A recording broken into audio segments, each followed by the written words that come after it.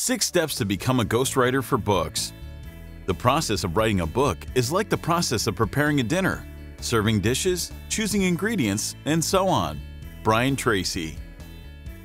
If you're looking to start or expand your writing career, but you don't have an idea for a book, or you don't want the pressure of having your name on the cover page, it is worth considering becoming a ghostwriter. Ghostwriters are hired by an author to write a book as that author, but ghostwriters don't receive the credit.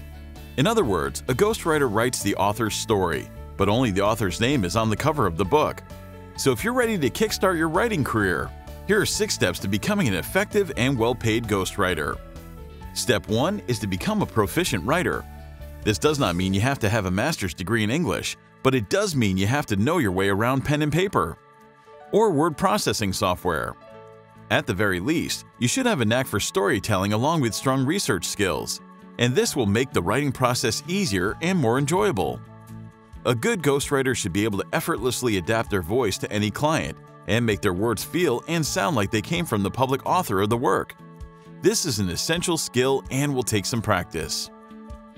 Step 2 is to write a book proposal. Once you have become proficient with writing and have some practice under your belt, the next step is to research the author you want to write for. You'll have to pitch yourself as the best option to tell their story with a well-structured writing proposal. Your proposal is also an opportunity to demonstrate that you're familiar with their work and that you would love to tell their story for them.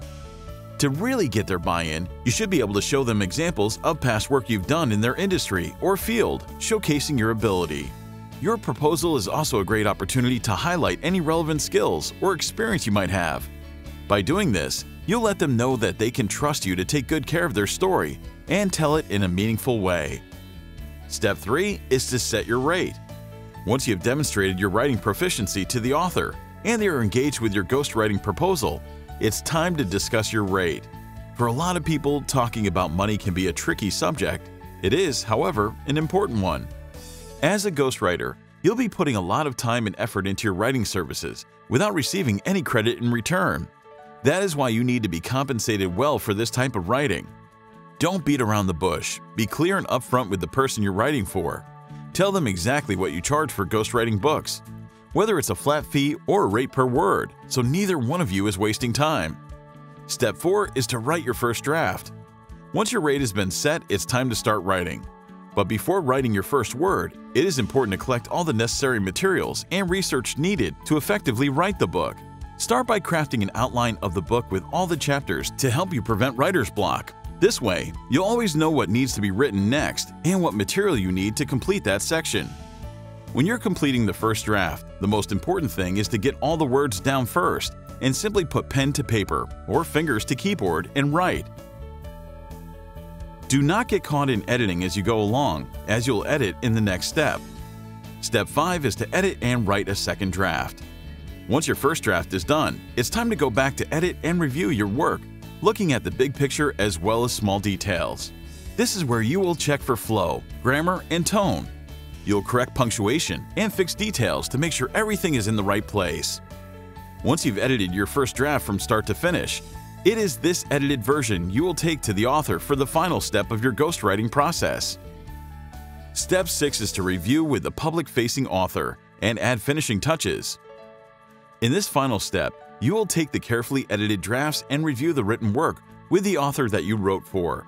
In this step, You'll add any finishing touches before passing the final piece off to the author who hired you so they can publish it. One of the bonuses of being a ghostwriter is that once the writing process is complete, so is your job. You do not need to worry about any of the publication details. Being a ghostwriter is not always easy, but for the right type of person, it can be a highly successful and enjoyable career path. By following the steps discussed, you can set yourself up for success as an effective and well-paid ghostwriter. Now the question today is this. What are you doing every single day to become a proficient writer? Leave a comment below, and Brian will be sure to follow up with you. Thanks for watching, and remember as Brian always says, if you want to change your future, take action and take action now. If you enjoyed this video and feel it was valuable in teaching you about these three leadership traits, share it with your friends or for more resources on professional development, visit my website at briantracy.com. Thanks for watching and remember, if you want to change your future, take action and take action now.